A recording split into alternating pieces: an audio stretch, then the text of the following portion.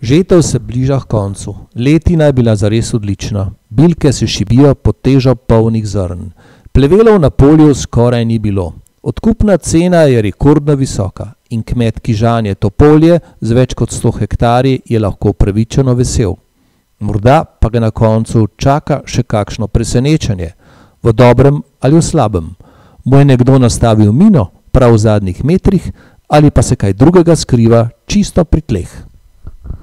So se morda na tem polju naselili slepi potniki ali nekdo, ki mu je ves čas po malem grizel pridelek?